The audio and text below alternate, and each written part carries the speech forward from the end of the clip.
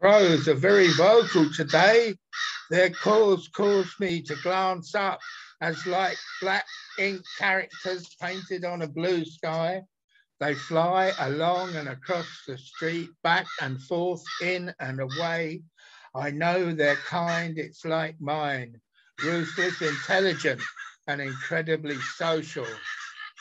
I know that they can summon each other to form flocks when they need to.